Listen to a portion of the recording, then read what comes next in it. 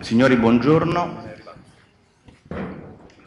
Aspetto solo qualche secondo che le sedie si possano poggiare. Come in autunno le foglie, non facciamo i poeti che non è il caso. Perché no? Bravo, facciamo, ma non sono molto... Diciamo, l'FCU roll fa capire che sono un tecnico, quello delle lavatrici, come dice mia madre. Che lavoro fai? Il tecnico.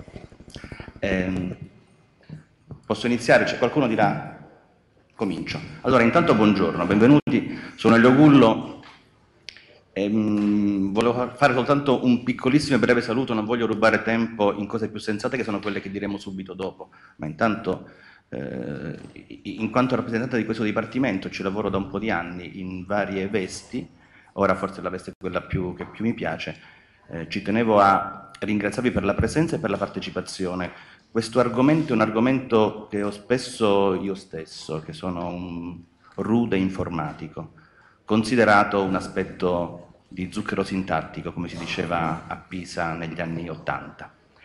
E guardavo più la torta che la fuffa, e mi sembrava fuffa. Mm, ammetto eh, di aver spesso sbagliato, questa è una di quelle in cui ho sbagliato, ma fortunatamente in questa fase sia l'attenzione rispetto alle esigenze dei nostri utenti, utenti è un brutto termine, ma eh, uso un termine che è comprensibile a tutti e che vuol dire tutto quello che avete capito, sia la loro inclusione nei processi decisionali hanno cambiato un pochino le possibilità e l'efficacia di azione di questo tipo. Quindi la centralità che se andate a trovare sulla letteratura, basta usare Google, è presente da 20 anni, per 15 anni è stato un argomento da slide o poco più. Non che oggi sia diventato argomento da cemento armato, però comincia a entrare dentro. Eh, anche come dipartimento, in più di un'azione, stiamo provando, stiamo provando a contaminarci, dove il contaminare in questo caso è positivo, con le esigenze dei destinatari delle nostre azioni e a coinvolgerli in più di un modo. Quindi riteniamo, e quindi io ritengo, non soltanto opportuno partecipare, spero di dire cose sensate subito dopo, ma eh, che ci sia il più ampio coinvolgimento possibile e che si possa in qualche modo diciamo, spingere le amministrazioni ad aprire almeno il cervello, poi vediamo che cos'altro. Eh, sono moltissimi i partner di questo progetto, che però chiederei a, a, al nostro ottimo Emilio Simonetti di presentare uno per uno perché è più bravo di me. Io ho visto una valanga di nomi e termini, già sbaglierei il secondo perché io l'istituto di comunicazione lo chiamo in un altro modo del Mise, però lascio qui a, a Rita di, di, di parlare per, eh, in qualità di partner eh, stretto del Dipartimento. Vi do di nuovo il benvenuto e ci vediamo tra poco. Grazie. Grazie, buongiorno. buongiorno a tutti, grazie per essere così numerosi. Siamo in un'altra occasione nella quale con eh, Funzione Pubblica, con i colleghi, eh, stiamo mettendo forse un'altra buona pratica, oltre che buone interazioni in sostanza per eh, il servizio o eh, perlomeno per i risultati che intendiamo acquisire. Ehm, è una delle tappe più importanti questo convegno della nostra collaborazione, come dicevo. Innanzitutto si scusa il segretario generale eh, del nostro ministero, il dottor Napoletano, per non essere potuto um, venire, non, potuto, non è potuto venire per un impegno che mi ha comunicato proprio da poco.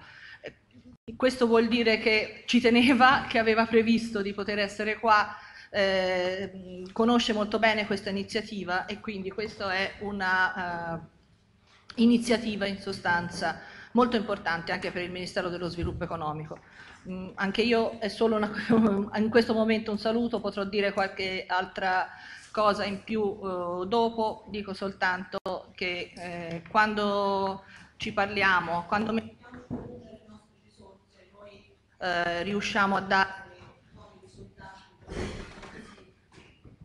non, non, ecco, riusciamo a dare servizi e a presentare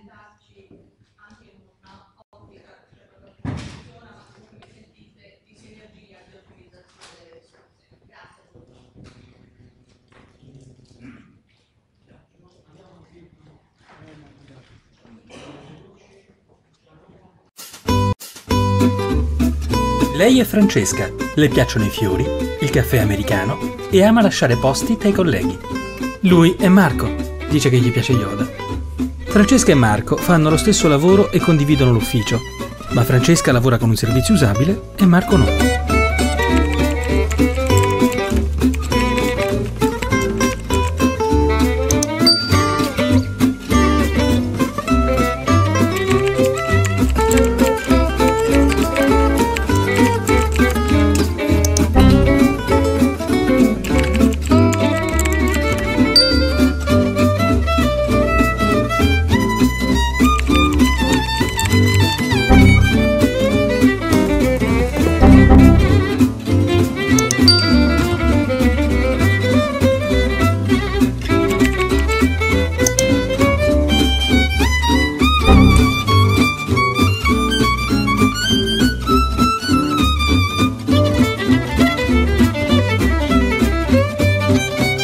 Usabilità significa più comprensione e immediatezza, ma soprattutto più soddisfazione delle persone.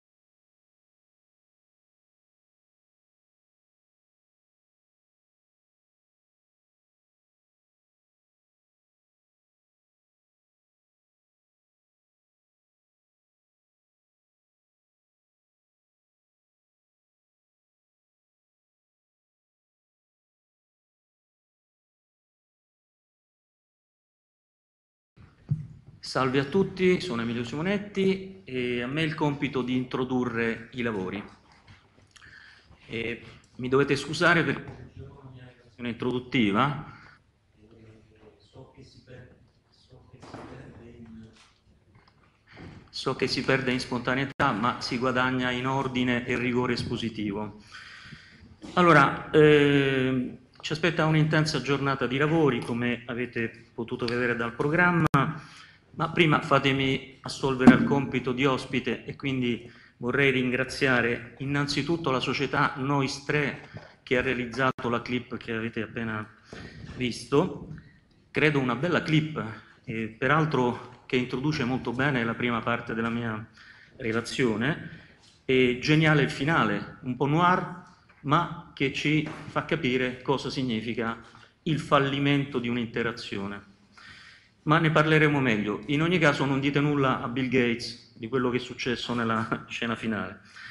Noi tre, peraltro, è reduce dalla, dall'organizzazione delle, della giornata mondiale dell'usabilità, che si è svolta eh, ieri e l'altro ieri, e, e, ha offerto gratuitamente la collaborazione eh, con il Dipartimento e il Mise per questa iniziativa pensavamo che fosse il modo migliore di eh, iniziare il nostro ragionamento. E gli organizzatori, come sapete, sono il Dipartimento della Funzione Pubblica e l'Istituto Superiore delle Comunicazioni e delle Tecnologie dell'Informazione, solitamente viene chiamato ISCOM o ISCTI, il cui direttore, Rita Forzi, è ospite anche della tavola rotonda. Ringrazio il Formez in particolare, i cui tecnici assicurano la diretta streaming, che dovrebbe essere iniziata da 5 minuti e la cui commissaria Marta Leonori eh, partecipa anche lei alla tavola rotonda. Un grazie ad Alessandra Cornero che a nome del GLU eh, contribuisce al coordinamento organizzativo del convegno e un grazie anche a Aurelia Tirelli che ci accompagnerà con il live tweeting dei lavori del convegno. E, mh, mm, ricordo tre cose importanti. La prima è che le sessioni vengono registrate e saranno riportate negli atti finali del convegno.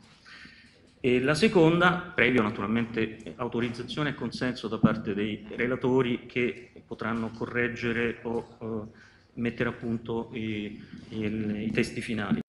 La seconda è che eh, nelle cartelline che vi sono state consegnate, insieme ad altro materiale documentario, trovate tutti i profili di tutti i relatori questo spiegherà eh, la sobrietà con cui verranno presentati. La terza cosa importante è che faremo una pausa caffè, non, non è inserita nel programma, alle 11. Dalle 11 alle 11.20 vi prego, siccome si tratterà di spostarsi su, nel cortile di Palazzo Vidoni, di non attardarvi troppo per non, per impedire, per non impedire l'inizio puntuale diciamo per le 11.30. La seconda sessione è degli esperti. Allora, eh, su un grande cartellone pubblicitario in una piazza di Roma leggo i soldi parlano di noi. L'87% delle persone, delle banconote che usiamo tutti i giorni sono sporche di cocaina.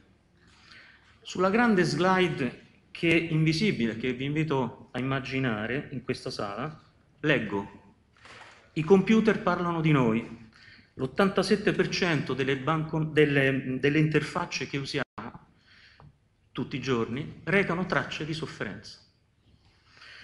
Non di dolore fisico, naturalmente, si tratta, ma di dolore cognitivo. Ad infliggerlo interfacce sofficemente cruenti, con le funzioni della mente coinvolte nell'interazione, memoria, linguaggio, attenzione. Questo disagio accompagna tutti i fallimenti delle nostre più comuni esperienze di navigazione e di accesso ai servizi online. Complessità di linguaggio, menu sovraccarichi, tortuose e improbabili architetture di navigazione, errori e disperata solitudine nella compilazione dei form. Plastico il marco della clip.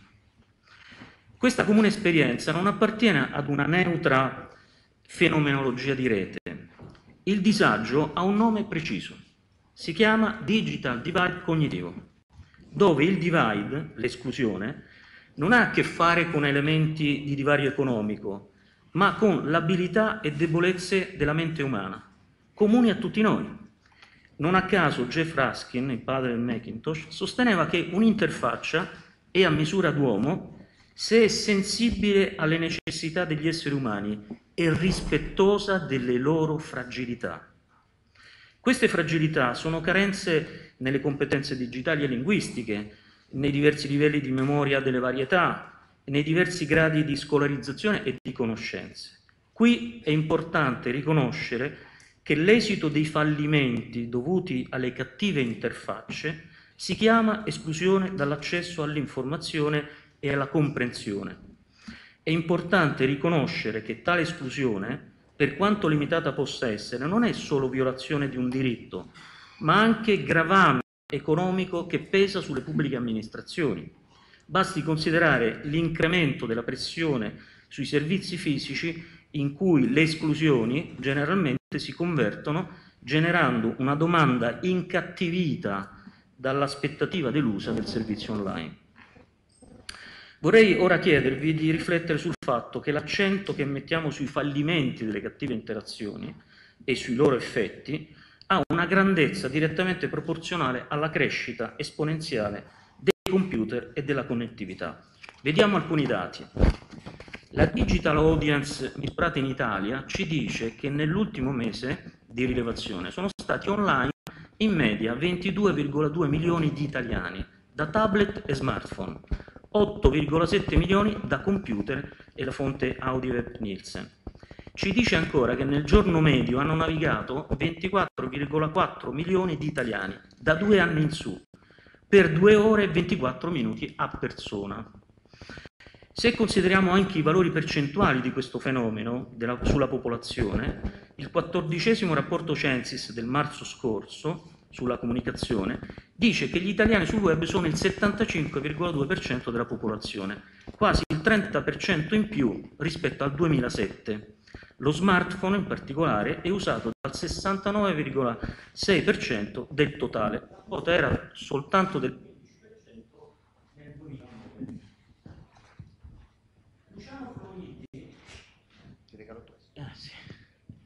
Luciano Floridi, filosofo di Oxford, eh, nel suo libro La quarta rivoluzione, scusate, nel suo libro La quarta rivoluzione sottolinea il fatto che lo sviluppo delle ICT, che caratterizza la nostra epoca, sia spinto da una potenza di calcolo dei computer sempre più grande, a costi decrescenti e per un numero sempre maggiore di persone.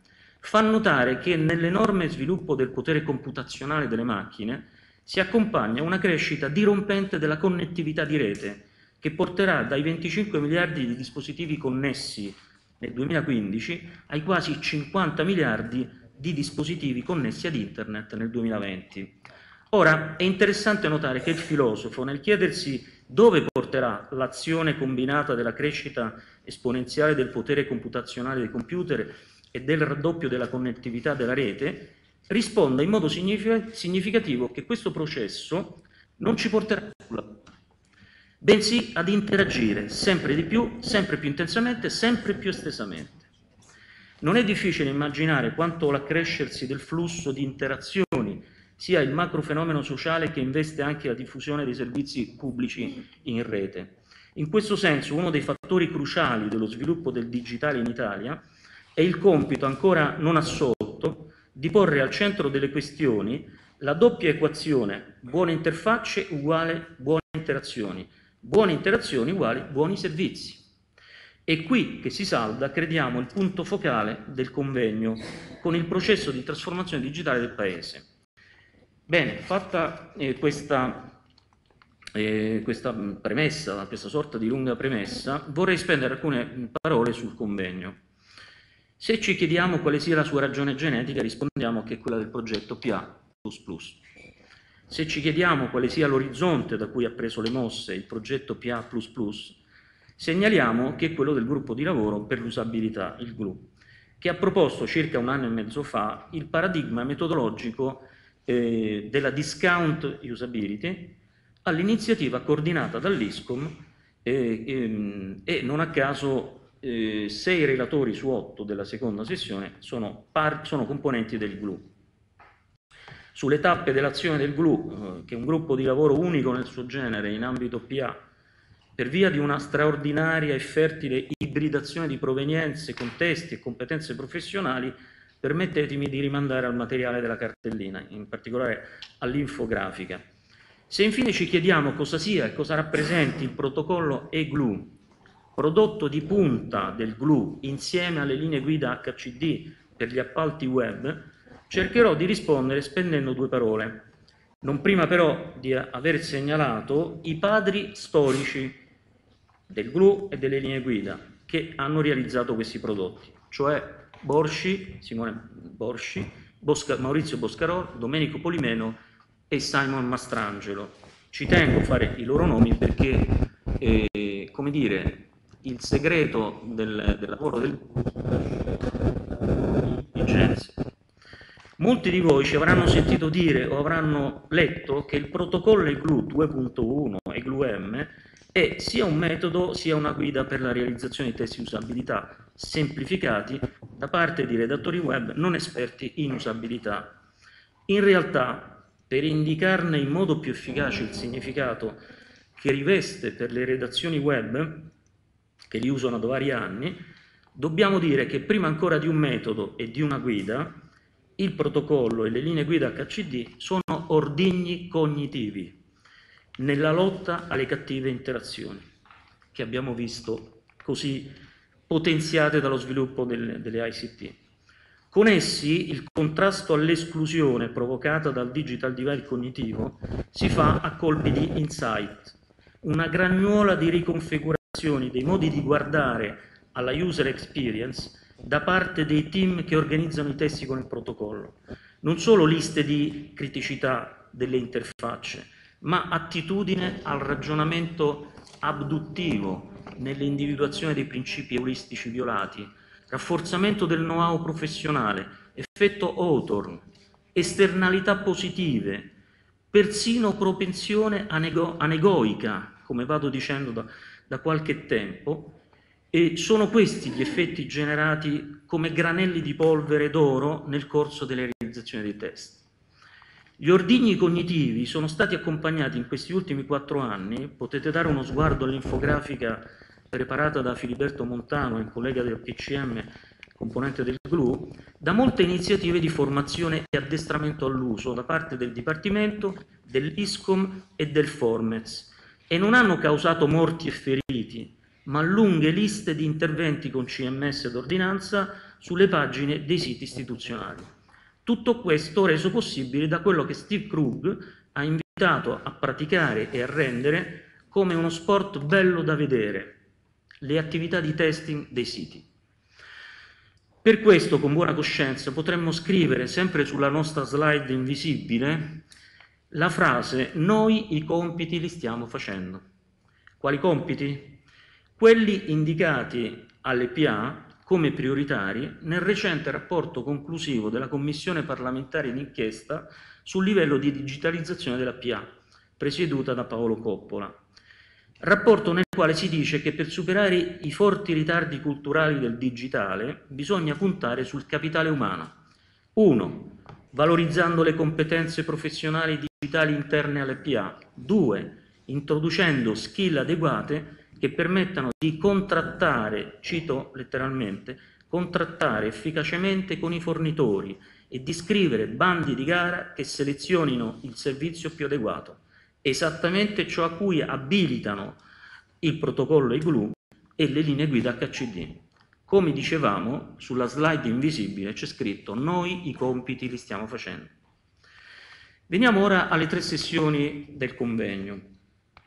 In due parole possiamo indicarne la caratteristica principale dicendo plurivocità pluriprospettica, non è uno scioglilingua, e la definizione è stata data anche della letteratura, plurivocità pluriprospettica, pluralità delle voci e pluralità delle prospettive, il cui assunto di fondo, tuttavia, segnalato dalla preposizione finale per del sottotitolo del convegno, è che nella gestione della qualità dei siti e dei servizi online è cruciale il valore delle tecniche e dei metodi dell'usabilità e della user experience. La domanda allora è questa preposizione finale come viene, come può e come dovrebbe essere attuata nell'intreccio di compiti e competenze tra committenza pubblica, esperti e redattori web? Nella prima sessione i decisori e amministratori pubblici, rispondendo alle domande di Lucio Lamberti, docente del Politecnico di Milano, ci faranno capire come le PA possono operare nei processi di diffusione digitale per favorire la centralità del cittadino con progetti e investimenti pubblici e soprattutto se questa consapevolezza c'è, quanto sia intessuta dell'idea e del ruolo dell'usabilità e della user experience che giocano in questo processo.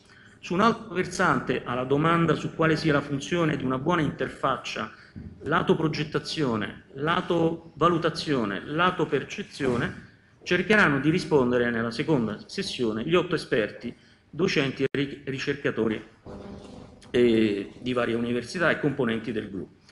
Nella terza sessione, infine, due saranno i protagonisti presentati dal progetto PA++, oltre al laboratorio eh, dell'ISCOM, QoS, eh, che è, ovviamente è al centro del, del, progetto PA++. Il caschetto con gli elettrodi è, è Glue Box, due protagonisti.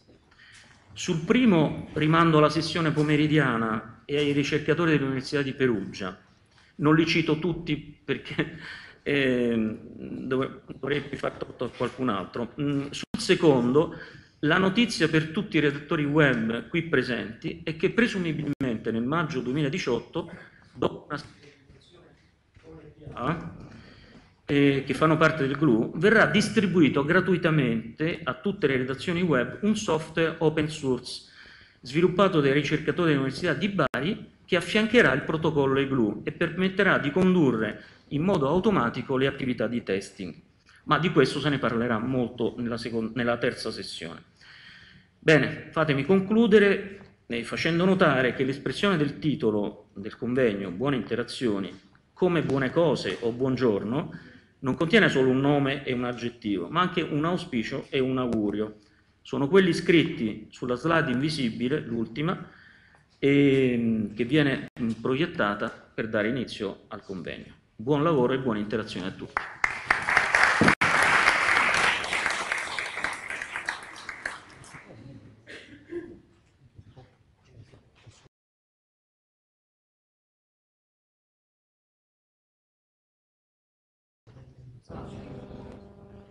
Ovviamente do la parola a Lucio Lamberti che modera la tavola rotonda. Mi... Grazie mille Emilio Simonetti, grazie a tutti voi e benvenuti. Eh, beh, mh, devo dire che dal 2012, quando abbiamo iniziato eh, questo lungo percorso con eh, EGLU, eccetera, è stata fatta molta strada sul tema della sensibilizzazione riguardo alle tematiche dell'usabilità e della centralità dell'utente nei servizi pubblici. Eh, come giustamente diceva il dottor Simonetti, eh, l'obiettivo di questa prima mh, sessione di lavoro è proprio quella di contestualizzare questo percorso di sensibilizzazione dal punto di vista di chi ha la responsabilità di sviluppare politiche. Eh, ovviamente il mio ruolo è quello di facilitare uno scambio di idee tra i partecipanti che vado immediatamente a presentare iniziando con Rita Forsi, che è direttore dell'Istituto Superiore delle Comunicazioni e delle Tecnologie dell'Informazione del Ministero dello Sviluppo Economico, Elio Gullo, direttore ufficio per l'innovazione e la digitalizzazione del Dipartimento della Funzione Pubblica, Marta Leonori, che è commissaria straordinaria di Fornez PA, Flavia Marzano, assessore a Roma Semplice per Roma Capitale, e Antonio Pone, che è direttore centrale dei servizi al cittadino dell'Inps, che ringrazio per la loro partecipazione. La prima domanda che vorrei rivolgere ai partecipanti è questa. Il dottor Simonetti nella sua interessante, direi magistrale Emilio, eh, prolusione eh, ci parlava del tema del digital divide. Cognitivo o non cognitivo lo decideremo, ma il principio, il fenomeno per cui abbiamo il 40% della popolazione italiana, secondo gli ultimi dati, che non accede a internet e il 60% che ci accede in modo sempre più continuativo, approfondito, eh, interattivo. Allora, la prima domanda che mi viene è, per un decisore pubblico, quando si tratta di andare ad analizzare il profilo di interazione con l'utente online, essendo il tema del digital divide un tema veramente di rischio di distaccamento sociale, ci si concentra più sul fornire un servizio stato dell'arte per l'utente più avanzato o un servizio che può essere una chiave d'accesso a internet per l'utente meno avanzato. E nel caso in cui, come mi immagino, la risposta sia un po' tutte e due le cose, come andiamo a bilanciare gli sforzi? Seguirei l'ordine, se siete d'accordo, dei relatori con, con, con cui vi ho introdotto e quindi rivolgerei da prima questa parola a Rita Forsi.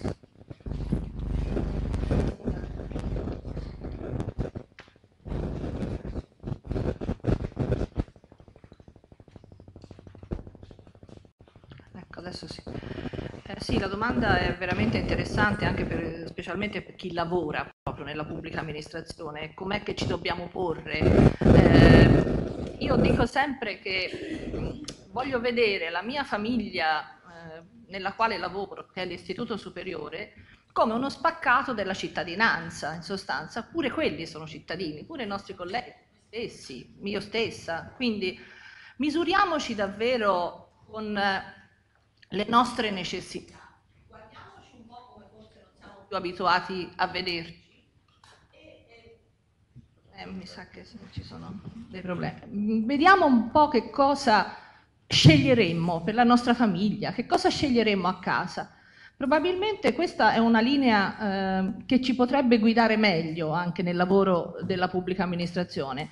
Per cui è chiaro, la risposta sì, è entrambe, entrambe le ottiche devono essere considerate e perseguite.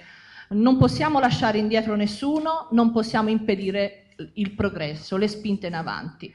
È chiaro che serve una grande pazienza, due atteggiamenti diversi, una grande pazienza per aspettare che tutti colmino le lacune che magari ci sono e eh, che possono essere eh, strutturali dell'ufficio o dei singoli appartenenti all'ufficio oppure anche saper vedere eh, laddove c'è una spinta propulsiva, eh, saperla coltivare e, e probabilmente ecco, riuscire a dare questo segnale di questo buon esempio di considerazione di quella che è la nostra realtà e eh, riuscire a farla trasparire all'esterno. Se, questo, eh, se riusciamo in questo intento, che non è assolutamente semplice, specialmente da parte di chi deve organizzare anche una vita quotidiana, che deve dare dei risultati, però se li guarda con un'ottica un po' più lunga, probabilmente il messaggio può passare e possono passare anche alcuni risultati come pare in questo caso che sia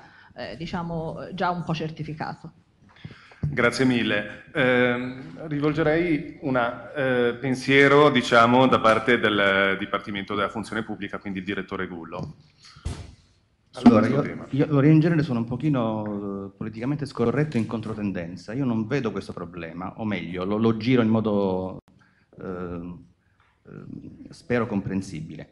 Uno, nel settore automobilistico, degli elettrodomestici e così via, non mi sembra che i prodotti importati in Italia siano ad uso di italiani anziani digital divisi.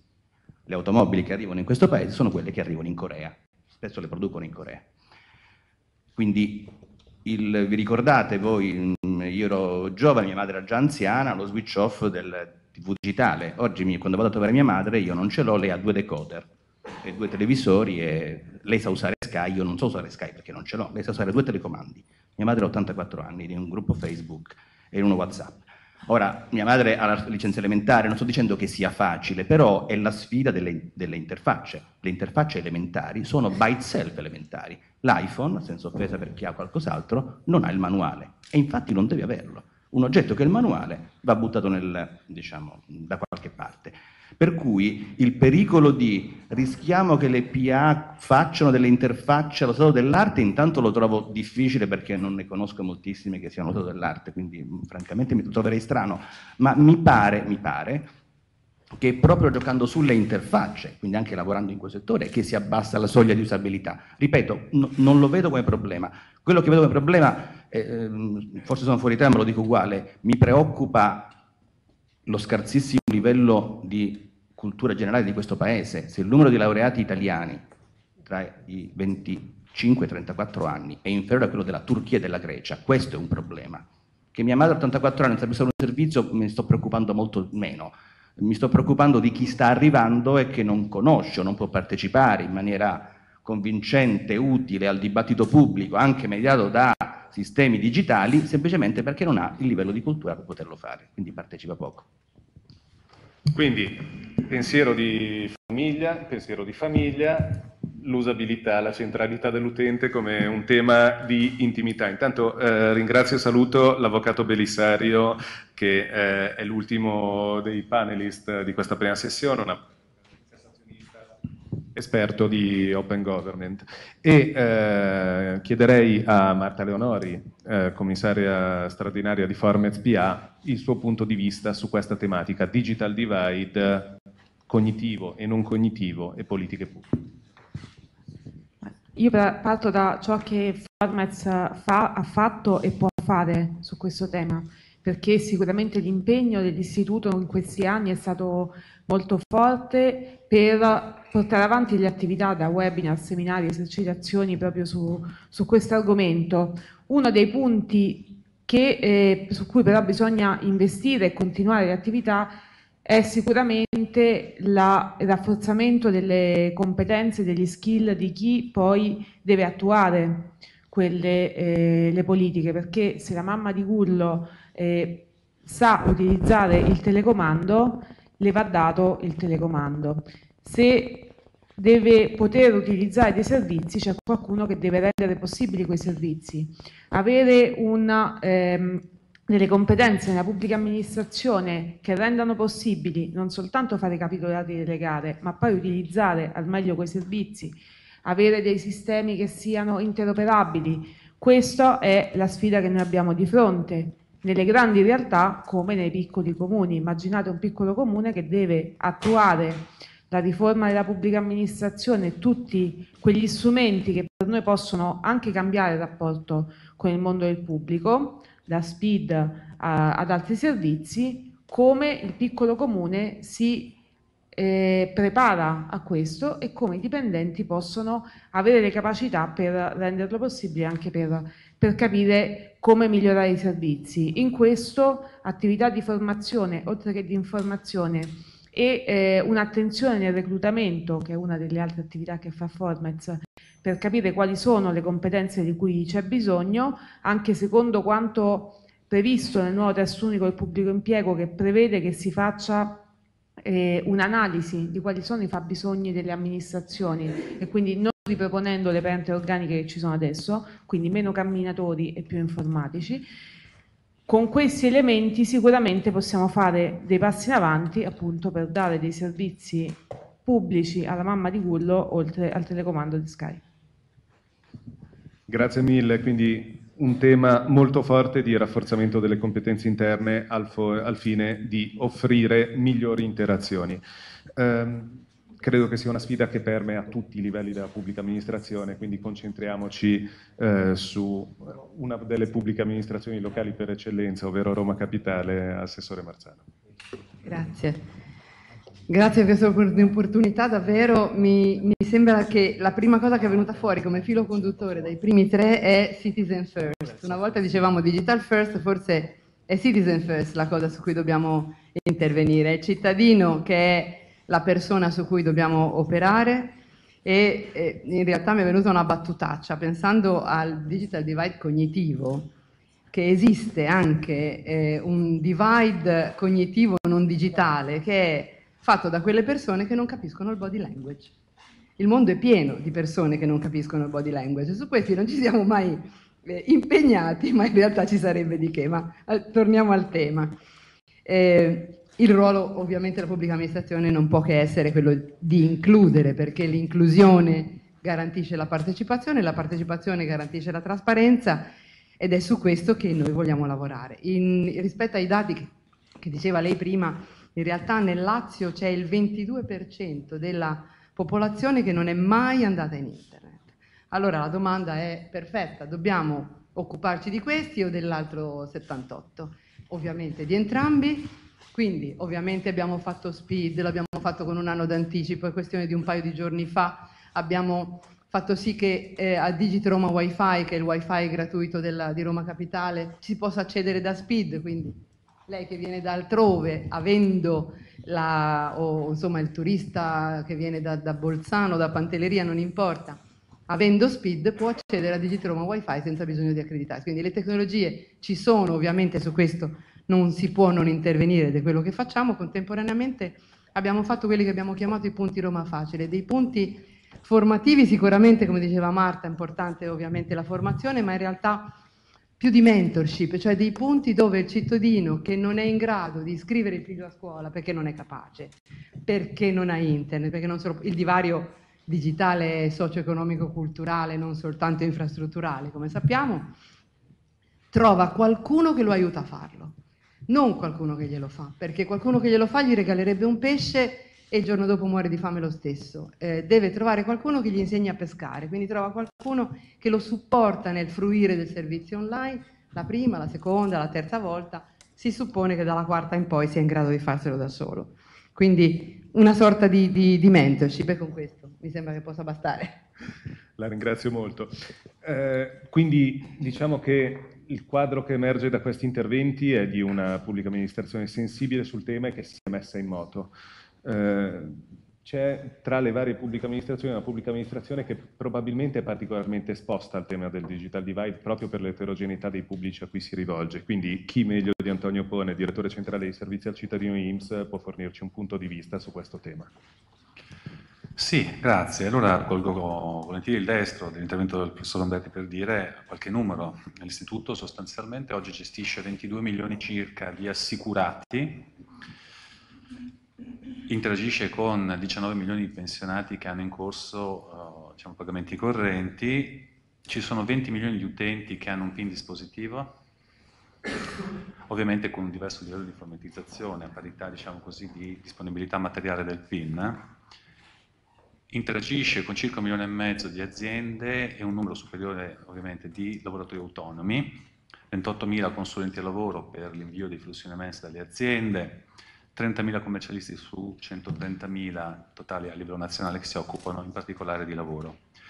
Questo cosa significa? Ecco, all'interno della platea di cui discutevamo, assicurati, pensionati, ma soprattutto assicurati, dentro c'è ovviamente di tutto, gli extracomunitari, persone che non conoscono la lingua, anziani intrasportabili, quindi il problema del dilemma è risolto ab origine, ovviamente dobbiamo andare nel senso dell'inclusività, per cui si va dalla estrema, diciamo così, spinta sul versante del servizio telematico allo sportello mobile per l'anziano intrasportabile che chiede un servizio e non può nemmeno recarsi presso il punto IMSS più vicino. Questo perché i diritti sociali per essere effettivamente esigibili devono eh, avere un'accessibilità che sia un'accessibilità effettiva e devono eh, quindi prevedere sia informazione che poi materialmente la possibilità appunto di poter essere esercitati con una certa facilità e poi perché politicamente non sarebbe possibile l'alternativa. Quindi il dilemma, come dicevo, è risolto ab origine.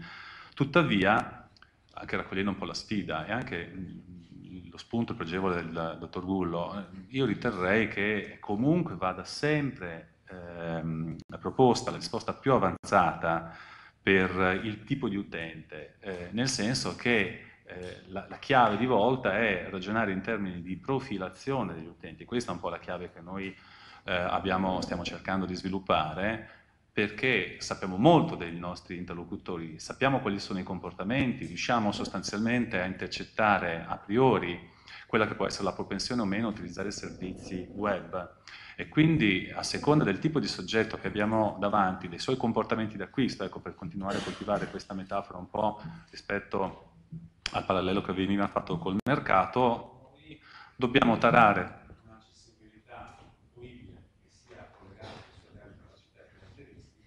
e, eh, e tarare quindi un modello di interazione su di esso. Questo perché, come veniva fatto osservare, non dipende né dall'età né dal livello di istruzione, la capacità del soggetto di interagire efficacemente con eh, un, un, delle interfacce che siano anche abbastanza, da questo punto di vista, evolute. Eh, però la sfida è sempre, in questo contesto, quello di rendere semplice e fruibile. Perché? Perché comunque L'inclusività garantita attraverso alternative rispetto al servizio web ha dei costi che non possiamo non tenere conto e sottrae risorse rispetto per esempio a recuperi di produttività che si possono fare sulla materiale lavorazione, per esempio le istanze di lavorazione. E quindi c'è lì un trade-off, quindi la spinta è proprio quella di cercare di accrescere la semplicità di accesso per allargare la platea dei soggetti che riescono ad accedere attraverso l'interazione telematica e digitale con, ai servizi dell'istituto, perché consente un recupero di produttività e di fatto anche la possibilità di fornire dei servizi aggiuntivi proattivi che non sono possibili attraverso le tradizionali modalità di erogazione dei servizi. Grazie. Grazie a lei. Eh, direi che possiamo concludere il primo giro di tavolo con eh, l'avvocato Belisario eh, che peraltro in quanto esperto di open, go- open government eh, fa della inclusione, quindi della digital inclusion anche una bandiera e quindi siamo, interess- siamo molto curiosi di sentire il suo punto di vista. Sì, innanzitutto buongiorno, eh, buongiorno, a tutti e grazie per l'invito perché è l'opportunità anche per me per fare alcune riflessioni eh, sugli interventi interessanti che ho, che ho ascoltato e che mi hanno stimolato qualche spunto che mi piacerebbe condividere con voi. Eh, ovviamente eh, noi parliamo di digital divide e politiche pubbliche e eh, io sono un avvocato, un amministrativista, uno dei dogmi no, con cui sono stato formato è quello che l'amministrazione è autoconsistente, quindi definisce la politica, la gestisce, la rendiconta da sola. Sì, certo interagisce con gli utenti, ma in un'ottica eh, di governo solido. Ehm, in realtà il meccanismo dell'open government, la dottrina dell'open government ha rotto questo eh, dogma di eh, autosufficienza ed autoconsistenza della politica pubblica e credo che proprio eh, il digital divide possa rappresentare eh, il terreno, uno dei terreni su cui eh, i paradigmi dell'open government diventino eh, più efficaci. L'open government ha tre pilastri, tradizionalmente la letteratura, la trasparenza, la partecipazione, sono quelli più eh, diffusi e conosciuti, ma ce n'è un terzo che secondo me è molto eh, sottovalutato e tra l'altro che spesso si fa fatica a colorare, a riempire di significati concreti, di azioni eh, efficaci, che è la collaborazione. e ehm, collaborazione significa, e tra l'altro lo dico con piacere anche perché con molti qui a questo tavolo, Marta Leonori, Elio Gullo, ehm, lavoriamo eh, ormai da un anno e mezzo a qualcosa che si chiama Open Government Partnership quindi eh, un eh, piano di azione ehm, per l'open government L'Open Government Partnership è basata sulla eh, co-creazione, perché si tratta di un organismo multilaterale che vede già nel suo steering committee alla pari rappresentanti di governi e rappresentanti della, della società civile. Siamo oltre il co-design, che pure eh, è qualcosa eh, di cui sicuramente eh, parlerete nel corso della giornata e avete sentito parlare. Cioè stiamo proprio ehm, parlando di collaborazione, non soltanto nel design ma anche nell'attuazione. Eh, provo a fare eh, due esempi concreti giusto per evitare di rimanere nell'astratto. L'anno scorso noi abbiamo realizzato eh, una eh, iniziativa eh, che si è chiamata Settimana dell'amministrazione aperta, eh, la conoscete, immagino alcuni di voi la conosceranno. Bene, la settimana dell'amministrazione aperta eh, ha ehm, eh, agito, ha lavorato anche eh, con riferimento eh, al digital divide, penso eh, alle classiche eh, lezioni eh, dei nipoti ai nonni per insegnarli ad utilizzare il computer, ma con quale meccanismo? Ehm, il Dipartimento titolare dell'azione ha deciso quali erano i progetti da fare sul territorio e li ha gestiti direttamente? No, c'è stato un principio di collaborazione su un calendario di oltre 242 eventi, quelli fatti sul territorio dal Dipartimento non ce ne sono stati perché il Dipartimento li ha fatti eh, soltanto a livello, a livello, centrale, grazie all'attivazione di una rete, l'Open Government Forum, quindi una rete di soggetti operanti anche nel settore del digitale, eh, si è riusciti a lavorare eh, ad una ehm, definizione di un programma eh, collaborativo gestito eh, a livello, eh, a, livello, locale, arrivando ad utenti o coprendo determinate azioni che ehm, il centro non,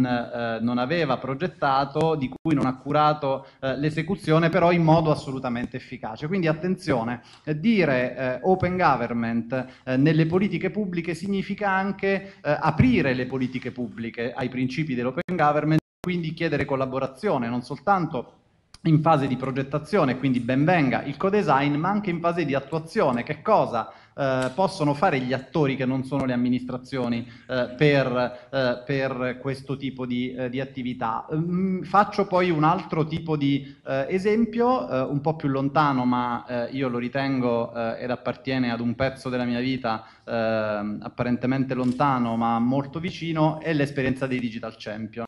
Io credo che è un'esperienza che probabilmente molti di voi ricorderanno, c'è stato un anno, novembre 2014, eh, dicembre 2015 in cui una rete di eh, più di un migliaio di attivisti ehm, ha dato una mano per provare a fare eh, alcuni pezzi di cultura digitale di alfabetizzazione delle amministrazioni, delle imprese, eh, dei cittadini. Penso ad esempio alle attività fatte eh, a supporto della rete Perico del per la cultura eh, digitale nelle scuole dei ragazzi, ma penso anche a tutta l'attività fatta con oltre 100 eventi sul territorio per la fatturazione elettronica, una riforma eh, di grande importanza che presupponeva alfabetizzazione tanto per le amministrazioni quanto per le imprese eh, che, che, potevano essere resistenti. Ecco, anche quello è il classico esempio eh, di collaborazione, c'era una linea guida, una grande eh, direttrice di politica pubblica, c'erano mille volontari eh, che hanno fatto il loro lavoro ehm, in modo assolutamente eh, parallelo eh, e convergente rispetto alla politica pubblica.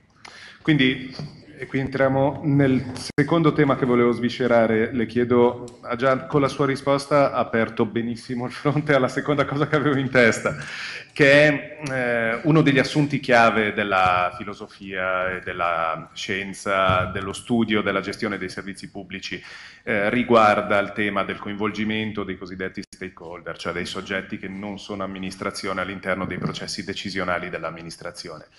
Ehm, tra i vari modelli ce ne sono alcuni che hanno avuto più successo di altri e che mettono sul tavolo fondamentalmente due possibili estremi. Da un lato il tema del cosiddetto paternalismo burocratico, ritorno al tema familiare, ehm, che credo sarà un filo conduttore della nostra chiacchierata di oggi, ovvero la visione di una pubblica amministrazione che si fa carico di un problema e lo risolve internamente per offrire una risposta efficace ai cittadini, arrivando all'altro estremo che è quello della partecipazione attiva che l'avvocato Bellisario ha eh, già iniziato a introdurre. Ora, pensando al tema dell'usabilità, delle buone interazioni, della centralità del cittadino, è un lavoro che dobbiamo fare noi all'interno di noi stessi come eh, pubbliche amministrazioni cambiando competenze e cultura o, e ancora una volta, è un VEL da un punto di vista informatico, quindi è un no e un e allo stesso tempo con una partecipazione attiva. Chiedo all'avvocato Bellisario un eh, breve commento, anche se il punto di vista mi sembra abbastanza chiaro. Sì, eh, provo ad andare davvero telegrafico, direi quasi per tweet, tanto adesso i 280 caratteri ce lo consentono. Eh, primo, la partecipazione credo che ormai non sia più sufficiente, cioè la partecipazione è un pezzettino, ma eh, fermarsi alla partecipazione potrebbe essere riduttivo. Eh, I nostri eh, utenti probabilmente a, da un lato non si accontentano più di essere semplicemente, eh, semplicemente consultati, dall'altro lo ritengo riduttivo nell'interesse dell'amministrazione. Eh, abbiamo una marea di competenze, di attivazioni, soprattutto sui territori, una rete così capillare che nessun ente, nessuna amministrazione probabilmente potrebbe riuscire ad attivare e quindi perdiamo eh, dei sensori rilevanti, tanto eh, in, eh, in, entrata quanto in uscita. Quindi il tema dell'evoluzione nei confronti della collaborazione collaborazione eh, è a mio avviso assolutamente eh, decisivo, oltre, ripeto, la mera consultazione, oltre il mero co-design, focus group, cose di cui eh, chi oggi è, è, seduto qui è sicuramente più bravo e competente di me. Il secondo tema però è ovviamente che la partecipazione senza permesso va fino a un certo punto, qui stiamo parlando di politiche pubbliche, certo. Esistono le iniziative ottime delle associazioni locali che fanno il loro, però è ovvio che se vogliamo inserire, vogliamo approfittare approfittare davvero eh, di questa cooperazione sinergica eh, pubblico-privato eh, e tra soggetti abbiamo necessità di abilitarla a livello di amministrazione, cioè è ovvio che il, l'amministrazione a questo punto cosa deve essere? Il ruolo centrale dell'amministrazione non è più quello di tipo paternalistico, conosco io tutti i problemi, so io la soluzione migliore a tutti i problemi. Abbiamo detto che questo già non è. Però l'amministrazione eh, deve eh, in qualche modo riacquistare e conservare la sua centralità diventando il fattore abilitante, cioè costruendo eh, i momenti di eh, collaborazione, governando i momenti di collaborazione e quindi se dovessi ehm, dire eh, davvero il tweet sulle competenze dobbiamo ehm, sviluppare, maturare le competenze per gestire processi collaborativi. Una volta si diceva processi partecipativi, anche la collaborazione va gestita perché la collaborazione eh, due settimane fa ero all'AIA per un eh, incontro con rappresentanti di altri 33 governi e rappresentanti della società civile, si parlava dello sforzo, della fatica della partecipazione e della collaborazione, cioè non solo ci vuole metodo, ma c'è qualcosa che va anche gestito in un processo di questo tipo che sicuramente in un processo top-down eh, non è assolutamente di fatica. Grazie Avvocato. Antonio Pone, dal punto di vista di IMSS, partecipazione, sviluppo delle competenze, sviluppo della cultura, qual è la sfida che sente più stringente nell'abbracciare questo cambiamento? Come per quanto riguarda il, il, primo, il, primo, stimolo, la prima suggestione, anche in questo caso il dilemma in realtà è un dilemma che si risolve con la congiunzione e non con l'opposizione. La personale sensazione è che in ambito pubblico e anche nell'ambito dell'amministrazione di cui faccio parte, ma più in generale, Ovviamente nell'andare oltre il paternalismo burocratico eh, siamo ancora comunque molto distanti rispetto a quello che dovremmo rappresentare ed essere sotto il versante di una cultura organizzativa realmente orientata all'utente, che poi si riverbera anche sui processi di elaborazione delle procedure dell'interfaccia in termini di accessibilità e di usabilità. E a maggior ragione siamo distanti da quello che può essere un corretto esercizio di una partecipazione attiva già a livello, veniva detto, di definizione delle policy, ma più in concreto anche nella definizione degli schemi di realizzazione e di organizzazione dei servizi. Siamo molto distanti in ambito pubblico, forse questa è una riflessione su cui dovremo investire i prossimi anni in maniera estremamente decisa perché può essere l'elemento che può fare, la, fare il salto di qualità al sistema, posto che una serie di, diciamo così, di issue sono già molto chiare in termini di eh, direzioni che devono essere intraprese. Mi permetterei di insistere in particolare sulla partecipazione attiva, ricanciandomi un po' a quello che dicevo prima. Mm, va fatta non solo perché è giusto, è bello, no? eh, in qualche maniera eh, si, si, appare in termini eh, più eh, umani e più, meno autoreferenziali, ma semplicemente perché viene, quindi con un'ottica molto pragmatica.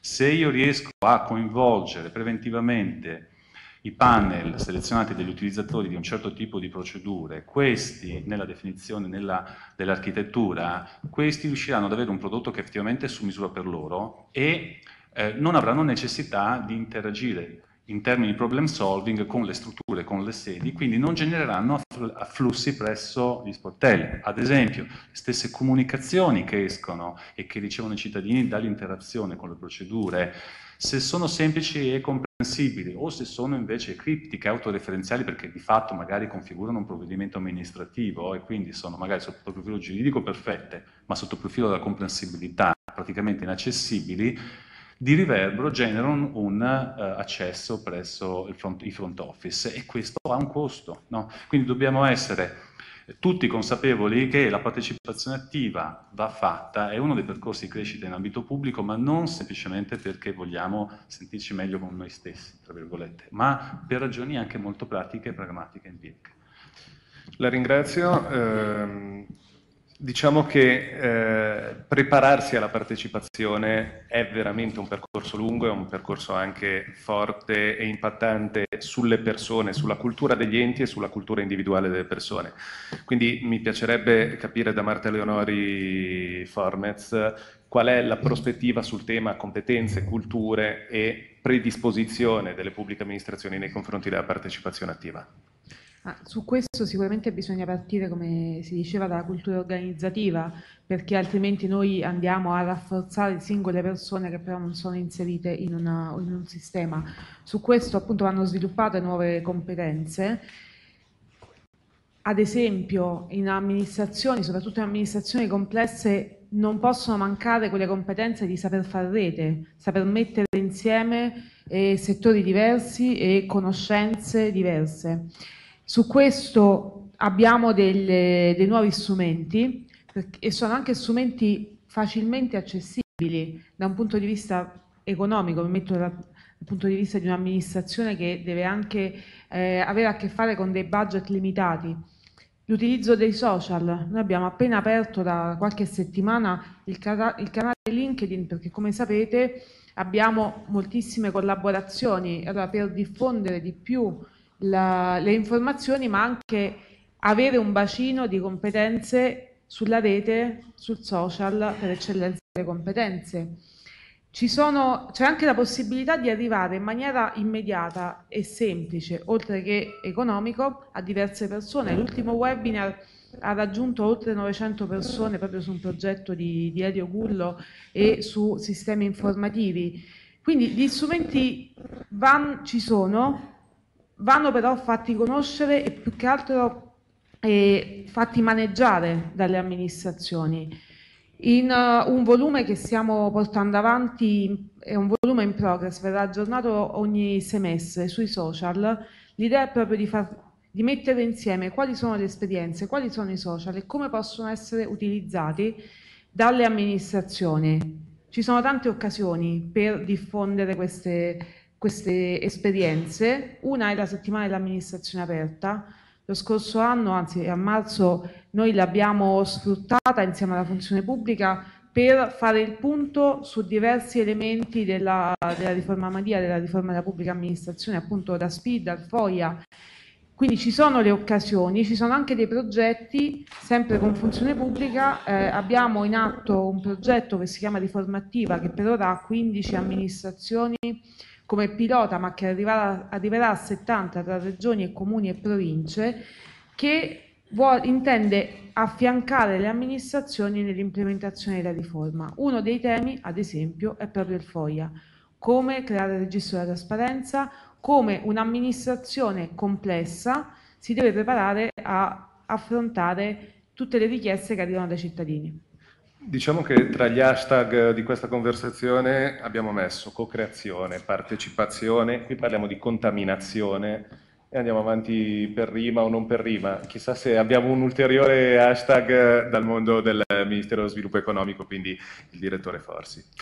Sì, noi, eh, noi partiamo dall'user experience, noi partiamo da laboratori, noi partiamo da un'esperienza reale di vicinanza a cittadini normodotati e non normodotati. Quindi Proviamo a fare invece noi il percorso al contrario, cioè risalire da quelle che sono le eh, suggestioni che ci arrivano, insomma, le segnalazioni, le necessità eh, che ci arrivano dalle persone che veramente fanno i nostri test per cercare di ricondurli in un'ottica di contributo a una politica pubblica. Questo è avvenuto nella nostra collaborazione con Funzione Pubblica perché eh, i colleghi hanno proprio questa uh, possibilità no? di fare un info sharing davvero uh, reale e anche efficace e noi possiamo mettere dei contenuti. Ecco, alla fine eh, vorrei semplificare, provare a semplificare questo percorso, avere proprio un quadro molto semplice dice, eh, che fa riferimento a delle azioni concrete, perché noi dobbiamo pensare anche di superare un certo individualismo che c'è e una certa autoreferenzialità che c'è. È un po' tipica, eh, come dire, di, ehm, ha un aspetto positivo anche questo, perché alla fine se qualcuno crea qualche progetto è giusto che sia orgoglioso. Ecco, il passetto successivo è quello di capire tutti insieme che se ce li mettiamo insieme questi progetti positivi, efficaci, probabilmente il salto non sarà la semplice sommatoria, ma sarà ben più eh, grande il risultato. Quindi eh, vedere che cosa c'è di esperienza alla fine ci fa fare poche chiacchiere inutili, ci fa pensare ad essere operativi. Eh, vi cito soltanto un paio di esempi velocissimi. Eh, una persona di una pubblica amministrazione con una grande disabilità che fino a qualche tempo fa sarebbe stata, come dire, poco utilizzata, ma perché le cognizioni che aveva, per la competenza, per proprio eh, il contributo che poteva portare, con questo tipo di eh, attenzione, quindi una postazione di lavoro a casa, una postazione adatta alle sue caratteristiche, interagisce regolarmente e quindi eh, dà il suo contributo non, non, eh, veramente non minimo, veramente molto, molto importante.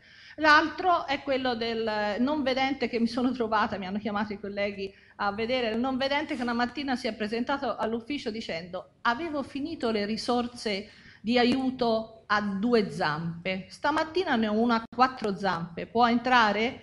Bene, questi sono alla fine i casi pratici. È arrivato con il cane che ha veramente dato uno spettacolo di partecipazione incredibile. Un, nel momento in cui giocava, perché facevamo alla bestia tutti i complimenti, e nel momento in cui sapeva di dover lavorare e collaborare alla fine prendiamo questi risultati, portiamoceli dentro casa, cerchiamo davvero di superare eh, l'individualismo che può essere in qualche modo, che ci mette in gara, ma che è anche il bello dell'Italia in sostanza, che ci fa a volte eh, raggiungere vette non indifferenti, però pensiamo a che cosa dobbiamo fare. Quindi me ne ha dati due, semplificazione e condivisione. Direttore Gullo, io mi permetto, visto che è una personalità vulcanica e ha dei punti di vista, ha degli afflati poetici e di conseguenza da questo punto di vista eh, sarà portatore di eh, un, certamente un punto di vista interessante. Mi mente una, una cosa. Partecipazione certamente è bellissimo, condivisione, coinvolgimento, ma poi alla fine c'è un momento in cui è giusto che l'enorme competenza della pubblica amministrazione guidi più che farsi guidare o coinvolgere? Allora, perché non ci siamo messi d'accordo con Lamberto su questa domanda, lo ringrazio. Speravo che lei mi facesse questa, che è l'unica che so, cui so rispondere. Allora, effettivamente, effettivamente, no, prendo lo spunto pregevole de- dei colleghi e in particolare di Ernesto Bellisario. La stagione della partecipazione, coprogettazione, qualunque cosa one, pone un problema, ovvero le parti sono comunque distinte. Le parti sono distinte, è corretto, sensato, opportuno, ma in un dialogo tra due parti si impara in due, non si impara in uno. Il, il percorso non è monodirezionale. Vieni tu, utente, bravissimo, chi te pare, a spiegarmi come devo funzionare. Sì, grazie, però cerca di aprire il tuo cervello e di capire quali sono i miei vincoli, i limiti, eccetera. Quindi questa operazione è difficilissima, ma funziona io, avrete notato, non dico mai quello che ho fatto perché non, non, me lo ricordo, però ho lavorato un pochino in un ente di previdenza, era piccolo, era stato fuso, era l'Empals, con un'utenza molto particolare, eh, TV, Mediaset, Rai, e le altre, e le scuole di calcio. Quindi un'utenza particolarissima, avendo fatto già sette anni in IMSS, li vedevo come strani questi, ma che ce vo? Eh, ma che ce vo? No, perché lì la componente chi sei tu è preponderante rispetto al tuo adempimento. Le uniche innovazioni che ho fatto in quella stagione breve, 2006-2007, le ho fatte sotto copertura e alleandomi col cosiddetto nemico, ovvero senza dire niente a nessuno. In quell'ente era, era stato commissariato per 25 anni, 25 anni negli ultimi 30, era disastrato. Funzionava tutto a carte, io venivo da lì, anzi, avevo fatto un po' di IMSS, un po' di funzione pubblica, ma che caspita è questa cosa? Cioè, non, non può funzionare. Allora, i miei non mi capivano, va bene, non mi capite voi, e ho convocato. In due giorni consecutivi del novembre 2007, ancora lo ricordo, 2006, perdono, Rai Media si è stesso tavolo e il giorno dopo le squadre di calcio. E gli ho detto, ragazzi, così non possiamo funzionare. Cioè voi vi rompete le balle a comunicarmi una serie di dati via cartaceo e ne acquisirli. No. Voi avete sistemi informativi, cacchio, ci vogliamo mettere d'accordo su come disegnare il vostro modo di parlare con me e il modo in cui accolgo i dati. Io posso fare alcune cose, non tutte, non posso cambiare le norme, le condizioni sono le seguenti. Se ci mettiamo qua insieme a lavorare, vi cambio il sistema. Loro inizialmente mi dissero, ma lei chi è? Testuale. Dire, cioè, perché dobbiamo fidarci di lei? Ho detto, perché io lo faccio. Cioè, ve lo assicuro, prima lo facciamo e dopo facciamo la circolare. L'Empals, ricordo a me stesso, il novembre 2006 facemmo questa riunione, dal 1 marzo 2007 nessun pezzo di carta è più entrato in quell'ente. L'Inps lo faceva da anni, ma l'Inps già lavorava con diciamo, soggetti terzi che tayloristicamente fanno questo di mestiere, il lavoratore dipendente era un, un, must. Eh, lavorare con eh, lo stipendio di Totti, piuttosto che, mi ricordo, Albertazzi, che era qui direttore del Teatro di Roma, un giorno chiama lui Albertazzi al telefono, dico, Gullo c'è Albertazzi, eh, cioè cosa vuole Albertazzi? Eh, mi chiede, dottor Gullo, senta, eh, dovrei cambiare eh, l'IBAN della pensione, me lo volevo comunicare per telefono. Se facevo il dipendente pubblico dicevo, Albertazzi, eh, cioè, faccia qualcos'altro, non potevo dirgli faccia qualcos'altro, mi fidavo che era Albertazzi perché la voce di Albertazzi me la ricordo, quindi ho detto, mi, mi detti l'Iban, ho scritto l'Iban, poi ho fatto una porcatina, all'ufficio pensa ho detto ragazzi cambiate l'Iban Albertazzi perché altrimenti se non lo cambiamo lui chiama il ministro e poi ci fregheranno. Allora, in questo caso l'utente era, non gli potevo spiegare Albertazzi, era già quasi novantenne che la procedura non era esattamente quella, però ricordo a me stesso e anche a voi se posso permettermi una grande stagione di cambiamento facendo soltanto questo e litigando spesso con chi mi chiedeva ma che ce vuoi fare così? E no, che ce vuoi? Se, se, tu aspetti un secondo e capisci i vincoli e i limiti che noi abbiamo, forse ti immedesimi anche tu e può servire. Questa esperienza mi veniva, e cito, cioè, a destra l'amico che ho conosciuto oggi, ma pone, io, io, in questa sala la prima volta che entrai ero in man, maglietta a maniche corte con la barba, perché il ministro Cassese mi aveva chiamato, io ero in vacanza con la mia donna, non so in che parte d'Italia, mi dicono il ministro la vuole subito. Io ho detto, caspita, sono in vacanza, non vengo. E il ministro o viene o chiama i carabinieri, testuale. Vabbè, io sono in maglietta e pantaloncini e barba lunga, vengo così. Ero da Parma, torno, arrivo qua. Lui mi chiede, quello dobbiamo rapidamente fare un po' di servizio al cittadino che si basano su quei touchscreen del cavolo, vi ricordate, con le tesserine del codice fiscale. Io sono i primi che aveva fatti, perché era l'unico che aveva detto sì, si può fare. Aveva convocato tutti gli altri enti, lavoravo in IMSS, allora no, non si può fare, chissà che c'è volta. No, che c'è volta, c'è volta, facciamo. In pochi mesi lo facemmo. E quell'esperienza fu fondamentale, appunto, lavorare con persone normali e provare a convincere quei festi che lavoravano con me nell'amministrazione, io il primo incluso, che dicevano no, questo non si può, ma i sensi del che non mi compete, ma la norma non me lo consente. Menate, pure menate. Da questo momento mi permetto di dirlo, e poi chiudo perché ho parlato un pochino troppo, però eh, sono un sabotatore delle, delle, riunioni, ma anche diciamo, un, un attentatore. Fate tutto quello che vi va di fare, evitando soltanto quello che è rigorosamente vietato. Quindi usare intelligenza non è vietato, parlare con gli altri non è vietato, eh, immedesimarsi nelle, nelle, nelle, eh, possibilità degli altri non è vietato, anzi vi leva lavoro, migliora la qualità del lavoro e della relazione, è un valore mostruosamente elevato vi assicuro che è elevato. Non sbagliavo. Assessore. Assessora. No, no, le, le, devo, le, devo, dire la verità, mi, mi suona strana. Eh, non mi faccia dire cosa. No, no, no, no, ma si figuri. Eh, ritengo che sia una carica e che le cariche non abbiano sesso, ma questo è un, è un punto di vista personale. Professoressa? È un errore anche quello. Eh, da un punto di vista eh, di Roma Capitale, questa tematica partecipazione, competenze e cultura, come è stata abbracciata? Concordo tanto con quello che hanno detto sia Ernesto che, che Elio sul fatto che la partecipazione non basta, seppur essenziale. E forse alle, alle, keyword che diceva Ernesto sull'open government ne aggiungerei una che è l'accountability, che non saprei tradurre bene perché la mettiamo come hashtag accountability. Responsabilità, sì, responsabilità, perché gli utenti non sono utenti ma sono cittadini. E allora torno al Citizens First di cui parlavamo prima.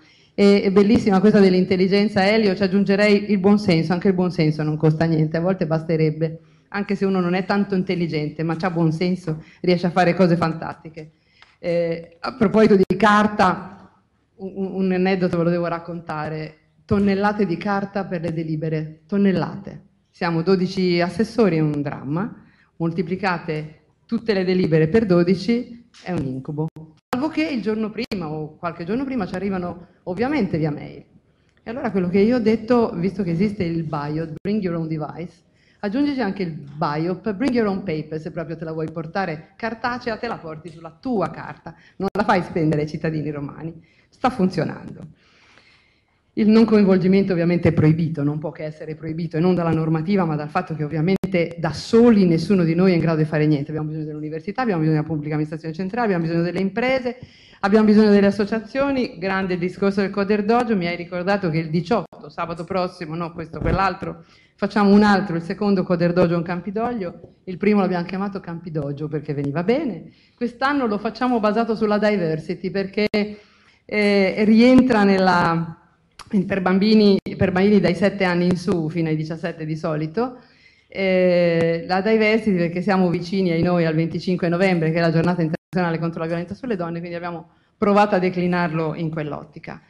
Eh, sulla partecipazione stiamo revisionando lo statuto, quindi con tutti gli istituti partecipativi, proprio per evitare quello che lei giustamente chiamava il paternalismo burocratico, no grazie, ovviamente non ci piace un granché. Abbiamo messo in piedi una comunità degli innovatori interni, Roma ha 24.000 scarsi dipendenti, facendo un po' di conti statistici, l'1% sicuramente è disponibile a collaborare con noi, mi accontenterei dello 0,5, 100 persone che vengono a lavorare con noi e che restano dove sono e fanno da traino all'innovazione nel settore in cui sono. Quindi il saper fare rete che diceva Marta, li mettiamo tutte insieme, ci stanno tutte. E quello che diceva Rita quando diceva mettiamo in comune le risorse, perché è così che possiamo e dobbiamo lavorare. Abbiamo fatto un questionario di formazione interna, di, di autovalutazione, proprio per chiedere che cosa sapete, che cosa volete che facessimo e eh, iniziative di partecipazione ne abbiamo fatte infinite perché poi servono ovviamente anche quelle. La nostra agenda digitale che trovate sul portale fatta con Delibera tempo fa è stata fatta in maniera partecipata, sia con incontri di persona, sia stata online per un mese, quindi lei, chiunque dall'Australia all'Islanda, chiunque fosse in rete avrebbe potuto ovviamente dirci la sua. Quindi ci crediamo molto, soprattutto al nessuno escluso che sentivo dire prima. Ma trovo che quello che ci stiamo dicendo è un messaggio di afflato culturale, spinta, però è anche un investimento, diciamo, che la pubblica amministrazione deve fare su se stesso, sulle proprie persone, sui propri processi. Eh, Devo dire che è molto energizzante questa tavola rotonda perché si vede, mi verrebbe a citare Pascoli con la grande proletaria che si è mossa, no? eh, l'idea di una pubblica amministrazione che si sta interrogando sul ruolo e sta evolvendo in questo ruolo. Eh, la domanda di tutto questo, ma abbiamo già avuto risposte, ma diamo un ultimo messaggio di ulteriore speranza, è se questo investimento può ripagare. Ricomincerei con lei, Assessora. Ah, com'è? Ok.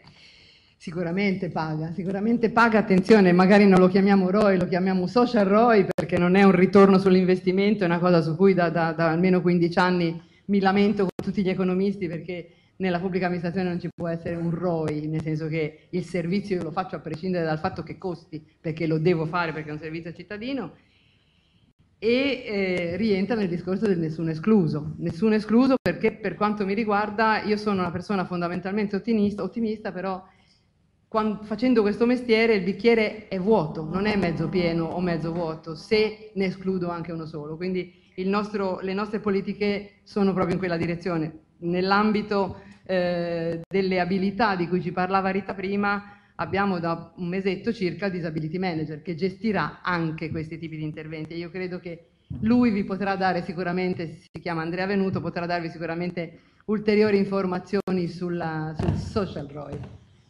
La ringrazio molto e passerei la parola all'Avvocato Belisario. Mi viene in mente un convegno eh, del Forum PA a cui partecipai un paio d'anni fa sul tema dell'open government dove eh, avevo un ruolo più o meno simile a quello di oggi e eh, iniziai il mio intervento dicendo eh, ai presenti quante delle vostre amministrazioni stanno facendo operazioni di open government e si alzarono il 95% delle mani. Eh, quante mi saprebbero dire in questo, motivo, in questo momento per quale motivo lo stanno facendo e se ne alzarono 5 di mani. Eh, questo è un tema fondamentale di tutti questi percorsi che stiamo mettendo sul tavolo, cioè l'obiettivo, il purpose, per utilizzare un, un anglicismo che dà al concetto di obiettivo un significato un pochettino più ampio. Eh, open government, ritorno sull'investimento, ritorno sull'investimento del mettere il cittadino al centro. Confesso che da un anno e mezzo è una domanda quasi quotidiana che, che, che mi faccio e quindi eh, è una domanda e un pungolo e provo a rifletterci. E infatti erano riflessioni che stavo mh, provando a mettere sul, eh, sul tavolo. Paga. Pro probabilmente l'open government do dobbiamo eh, iniziare ad uscire da questa... Ehm, prigionia che abbiamo nei confronti del ritorno. Cioè l'open government è corretto come metodo democratico. Cioè, cominciamo ad affermare che l'open government è giusto ed è corretto perché è la democrazia del 2017, quasi 2018, se mi è consentita una citazione cinematografica. Cioè la democrazia, questo ci sono anche dei dati, ehm, no, eh, è stata pubblicata proprio ieri, una percezione eh, della... Ehm, livello di efficacia delle istituzioni democratiche, da chi sta dentro le istituzioni e da chi sta fuori le istituzioni. Eh, e il, quello che emerge da questa rilevazione internazionale, credo che fosse di, mh, di più research, però poi dopo ve la, eh, ve, la, ehm, ve la, segnalo con maggiore dettaglio eventualmente via, via social, eh, è che chi sta dentro pensa che la democrazia rappresentativa funzioni benissimo, paternalistico, mi hai eletto, io so benissimo quali sono le tue esigenze, chi sta fuori ritenga invece che funzionerebbero meglio le cose attraverso la trasparenza, la partecipazione e la collaborazione. Quindi il primo tema è ehm, Open Government è il modo per rispondere alla crisi delle democrazie, che evidentemente non se la passano benissimo. Su questo ho gioco facile, non ho bisogno di spiegarlo perché. Eh, quindi eh, è corretto. Dopodiché funziona? Sì, funziona, nel senso che essendo la cosa che nel, eh, negli anni 2010 somiglia di più al metodo democratico puro, eh, non parliamo di democrazia diretta, no? stiamo parlando di una democrazia dove il decisore fa il decisore, quindi quello che diceva Elio prima. Eh, qui nessuno sta dicendo che grazie alla collaborazione espropriamo il decisore di sue competenze, ma lo mettiamo in condizioni di fare il decisore nel modo migliore, cioè valorizziamo il ruolo del decisore, perché lo mettiamo in condizione di disporre da un lato di più informazioni e dall'altro di una rete che gli consente di massimizzare eh, quelle che sono le scelte, eh, le scelte prioritarie. Um, quali sono i ritorni? Mm, perché poi giustamente Flavia diceva, quando io mh, mm, parlo dei ritorni della politica pubblica, a cosa devo guardare? Quali sono gli indicatori? Perché questo è importante. Allora, il primo, miglioro la qualità delle decisioni.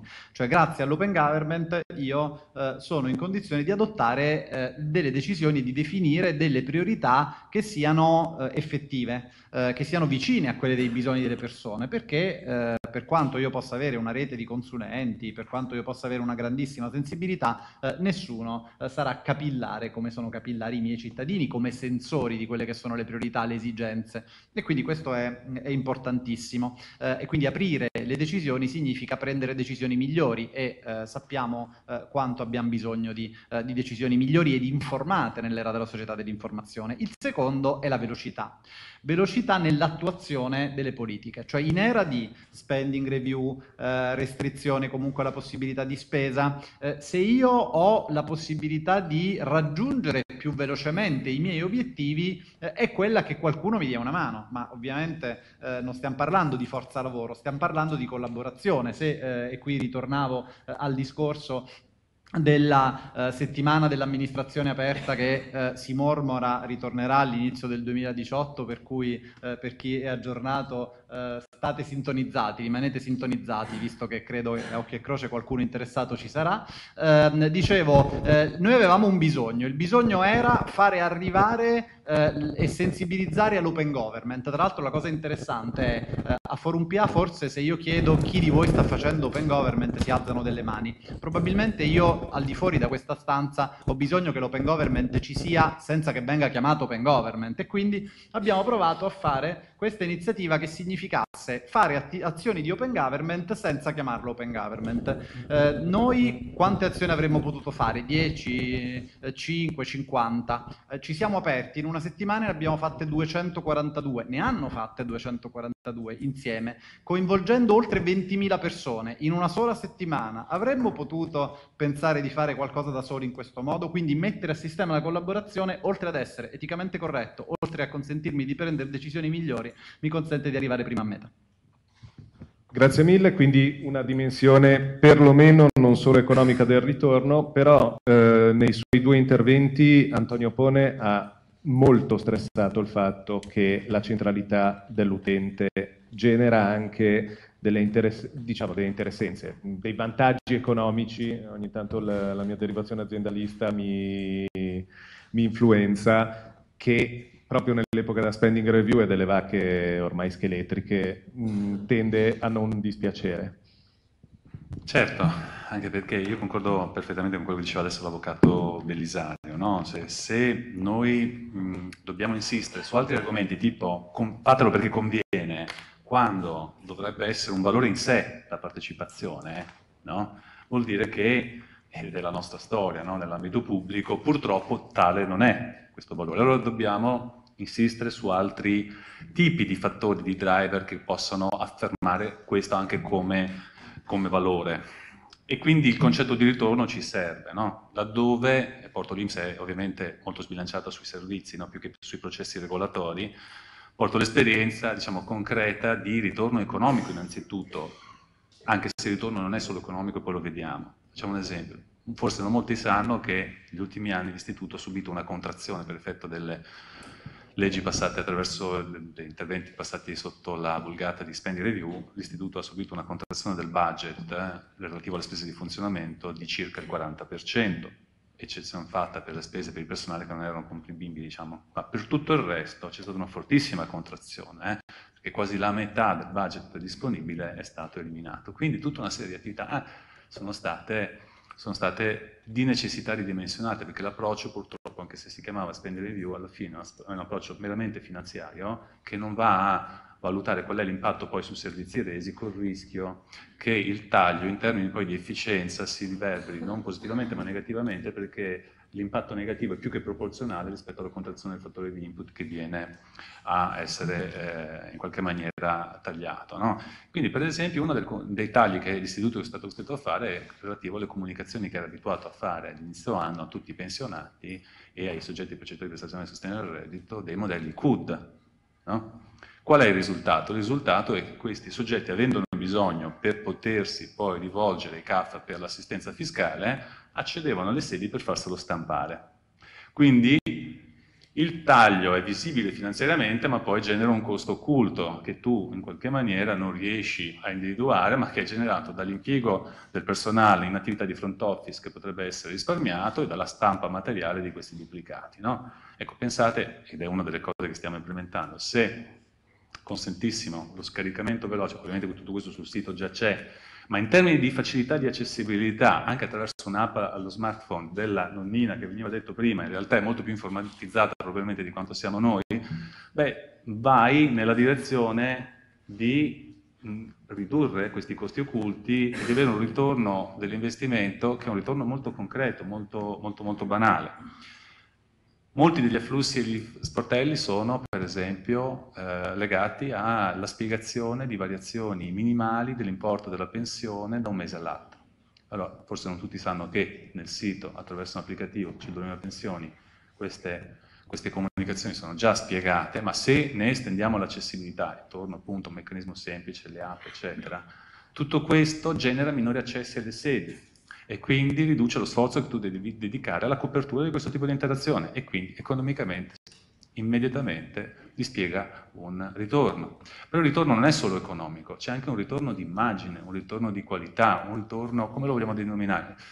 Diciamo così, di adeguatezza rispetto ai tempi, di legittimazione di un operato della pubblica amministrazione non autoreferenziale, ma che tiene conto delle tue esigenze. Facciamo riferimento a una procedura, anche questa già presente nel sito, agenda appuntamenti. Vuoi prendere un appuntamento con l'Inps, lo fai attraverso il sito, attraverso questa procedura. Se lì, per esempio, tu prevedi, come stiamo cercando di attivare proprio in queste settimane, la possibilità di prendere l'appuntamento come modalità ulteriore attraverso un collegamento Skype, Pensate al residente all'estero che ha una pensione in convenzione internazionale. È vero, teoricamente può chiedere un appuntamento in una sede IMSS per un suo problema, però se noi gli semplifichiamo la vita e gli consentiamo da casa sua di interagire con noi, con un nostro, un nostro persona di front office, eh, tramite Skype, gli, eh, diciamo, gli, consentiamo una fruibilità molto maggiore, per noi potrebbe non esserci un ritorno dell'investimento, perché tutto sommato il costo d'acquisto sarebbe stato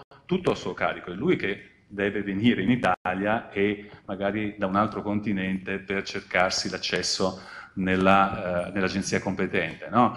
però in termini di immagine, di ecco, di attenzione, di impatto. Anche questo è un ritorno, non è un ritorno economico, ma forse da un certo punto di vista ancora più valore nella prospettiva di una partnership di lungo periodo con l'utente. Grazie mille. Eh, investire nella formazione delle competenze e quindi Formez PA. Eh, che tipo di ritorni dà il mettere il cittadino al centro?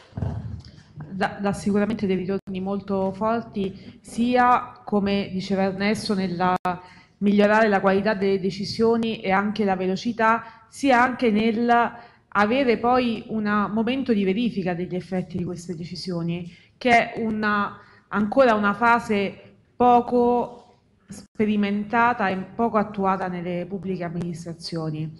Sicuramente vanno dati gli strumenti, perché gli strumenti mancano, mancano in molte persone che hanno visto un ingresso anni fa, che hanno visto il taglio anche delle attività di formazione e di informazione eh, a causa della spending review che voleva limitare alcuni eccessi ma che ha anche tagliato ciò che forse era necessario e, e quindi su questo si può riprendere, ma appunto si può riprendere con, uh, con le nuove tecnologie e con i nuovi strumenti. Spesso essere in ritardo permette di saltare dei passi saltare tanti, tanti passi e quindi aver saltato degli investimenti precedenti permette di andare subito sulle, su nuove eh, possibilità. Ieri ero a Milano perché siamo stati premiati per aver eh, dato avvia al nuovo sistema integrato del sistema eh, gestionale in cloud, non aver fatto negli ultimi 15 anni una serie di cose e quindi poter sperimentare immediatamente la nuova soluzione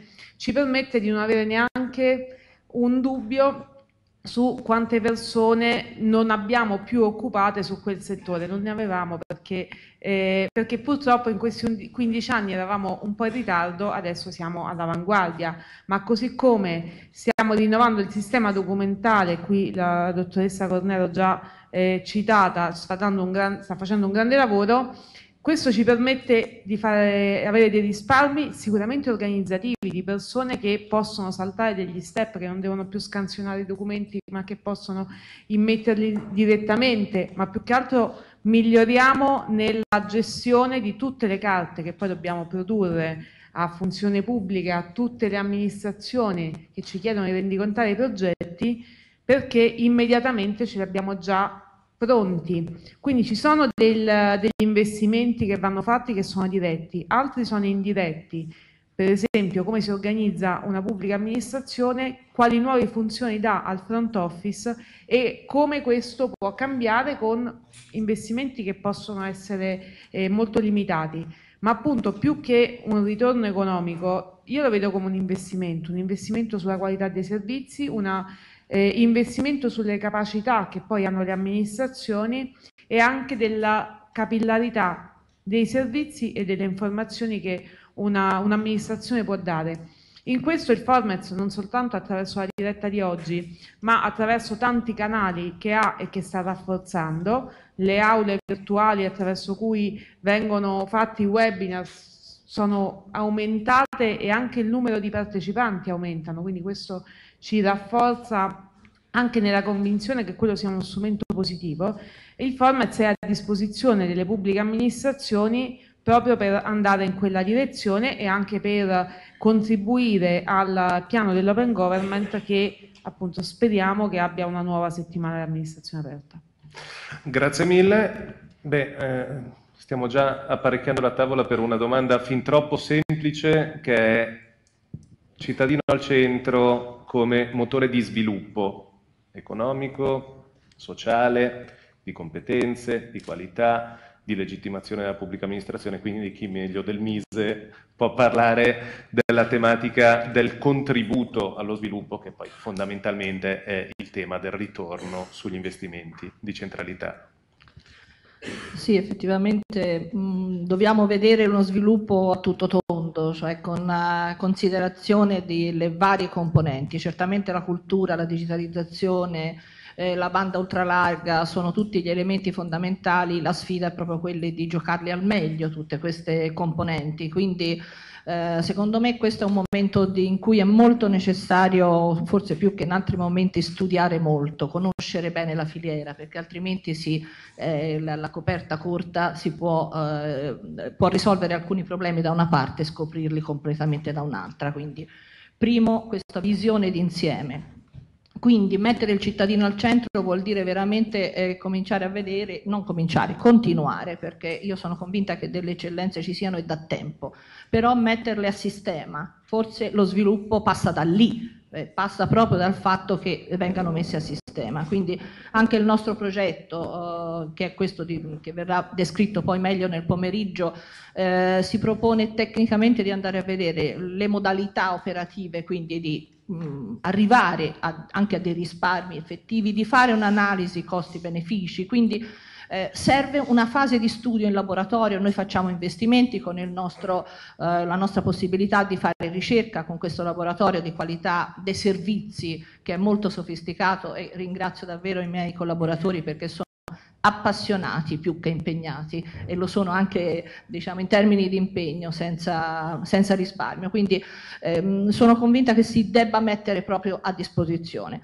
Quello che volevo dire come conclusione è che mh, adesso eh, mi, mi ricollego proprio alla valenza di tutte queste nostre eh, tipi di impegno e di iniziative eh, ci riportiamo alla fine a un concetto di eticità dell'azione pubblica, cioè l'abbiamo probabilmente un po' eh, trascurata, forse c'è sempre stata, era diventata un po' latente, adesso abbiamo un po' la spinta a fare, eh, a scimmiottare la parte privata, no, la parte di eh, public policy deve avere una sua eticità, cioè stiamo eh, ragionando di e inclusion. L'inclusione ha una valenza anche sociale, una valenza etica e se è ben condotta perché c'è un impegno eh, che consente di mettere insieme a sistema, questo può portare davvero una conoscenza dei bisogni del cittadino, noi abbiamo parlato del cittadino singolo, ma il cittadino singolo ha problemi non solo dell'accesso, ha problemi della sicurezza informatica, non riesce a, a, a, cambiare la password velocemente, usa le password e poi lascia i foglietti sul tavolo, quindi dobbiamo veramente vedere una, um, una situazione un po' più larga, un po' più complessa per poter capire che tipo di impegno come pubblico possiamo portare, declinarlo nel modo migliore e uscire, come diceva Elio Gullo, con il buon senso, cioè le cose che si possono fare vanno fatte. Eh, mh, probabilmente eh, già in molte amministrazioni questa voglia di uscire con un risultato, con una cultura del risultato è già presente. Grazie mille, trovo molto interessante questo stimolo sul eh, superamento, e qui mi ritrovo con quanto diceva lei, il superamento del concetto di ROI, perché da aziendalista il ROI è una misura di breve periodo, va a non considerare il fatto che i ritorni possono essere distribuiti nel tempo. Qui vediamo il tema dell'investimento come un investimento investimento sul futuro, con dei ritorni che sono non necessariamente solo di natura economica, ma che possono distribuirsi nel tempo e che devono ripagare nel tempo. Dulcis in fundo, Elio Gullo, un punto di vista su questo tema. Sì, allora sarò brevissimo così abbiamo a prenderci un bel caffettino, speriamo che sia buono. E, purtroppo qualche anno, troppi anni di spending review ci hanno mortificato, mortificato anche l'intelligenza, lo diceva prima Pone, correttamente anche l'assessora Marzano. Eh, in questo caso, in questo caso, nel miglioramento della relazione, non sono un economista quindi sbaglierò il, l'esempio, ma l'avete capito, un euro investito, il ritorno è molto maggiore, qualunque cosa sia un euro in questo caso. Alcune reti sottostanti sono reti sociali, reti di relazione, reti di trust, di fiducia, che temo la PA debba rapidamente recuperare. Adesso io mh, mm, non voglio fare il filosofo perché non lo sono, nemmeno un poeta, non sono nessuno, però se guardo a ovest e vedo quello che sta accadendo in Catalogna, mi preoccupa. Eh, non voglio guardare quello che c'è su Austria perché non mi interessa, ma insomma la Catalogna mi preoccupa. Se una regione ricca, di livello culturale elevatissimo, tra le prime dieci regioni per PIL in Europa, ritiene che la soluzione al problema, non voglio fare politica, sto ragionando, sia un percorso che può arrivare, mh, Catalogna e, e, il resto della Spagna sono in una situazione di, di, grave criticità, è una cosa che mi preoccupa. Mi preoccupa perché eh, sono nato negli anni 60, ho diciamo, convissuto come molti di voi, non essendo più da 15 anni uno splendido quarantenne, citando Moretti, e, e, la fase del terrorismo e tutto quello che è successo, ci menavamo a scuola, no? negli anni 70 noi ci sprancavamo tranquillamente, io ero piccolo ma insomma menavo pure io, e, e, avete capito pure dove menavo, però diciamo, eh, gliene le prendevo. La, la, la, componente sociale, il ruolo sociale, l'Inps ce l'ha nella S, ma insomma la componente aggregativa del fidarsi di una istituzione, le, la, la pubblica amministrazione fortunatamente non vive di cicli elettorali partitici e di stemenate in televisione, siamo di lungo periodo, è aggregativa quindi la nostra utenza non la perdiamo perché domani vince il partito alfa o beta, non la perdiamo mai. Non so se è un bene o un male per voi, ma secondo me è un bene. Cioè questo rapporto lungo genera ritorni di lungo periodo in cui, non so chi di voi, eh, non mi ricordo più se era cincinnato, ma sicuramente era cincinnato, ogni tanto corre tornare nell'orto e quando uno lavora nell'orto e pianta un ulivo non si aspetta di raccogliere le olive il primo anno. Chi di voi fa olivicoltura sa dopo quanti anni prende le, le, le prime olive da mettere sul termosifone per seccarle. Se fa l'uva ancora peggio. Questi sono investimenti di lungo periodo che però danno sostanza al tessuto sociale civile e democratico, come diceva prima Belisario, di un paese.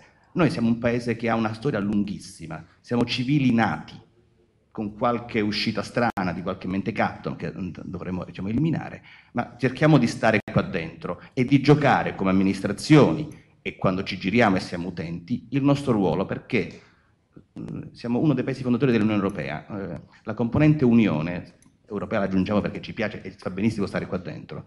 È fondamentale. Chiudo con una cosuccia. L'altro giorno non mi ricordo in quale luogo mi trovavo, sì, era su Facebook, con un mentecatto che mi diceva che il modello FOIA di questo paese era inadeguato. Io in genere non partecipo ai dibattiti con i cretini perché perdi sempre, però stavolta ho detto scusami, ma mi dai modelli interessanti. I due modelli che citava erano di due autocrati, non era tanto il FOIA, l'argomento era tutto deve essere trasparente, qualunque cosa. Ho detto guarda, i luoghi in cui tutto è trasparente mi pare si chiamino, ti faccio l'elenco la Russia di Wyszynski e quindi di Stalin, penso la Corea del Nord attualmente e qualche autocrazia. Sarà bellissimo, vacci a vivere te, voglio vivere in questo paese. Noi stiamo da questa parte del mondo, ebbene, cerchiamo di stare e di costruirci questa parte del mondo. Grazie mille Elio Gullo e grazie a tutti i panelist che, eh, ripeto, eh, per vero ringraziamento Ernesto Belisario, Rita Forsi, Elio Gullo, Marta Leonori, Flavia Marzano e Antonio Pone. Diciamo che questa sessione mm, lascia un lascito decisamente importante per le successive che mi permetto di sintetizzare così. Il tema della centralità del cittadino all'interno delle politiche pubbliche è un tema di trasparenza, sì, sotto certi punti di vista, di ruolo democratico, di accompagnamento di una popolazione nell'epoca, per esempio, del mercato globale. Il ruolo di guida della pubblica amministrazione in questo è fondamentale e quindi la sua capacità di interagire meglio con il cittadino è il fattore critico di successo. Vedremo nelle prossime sessioni come si può fare nella pratica. Grazie a tutti.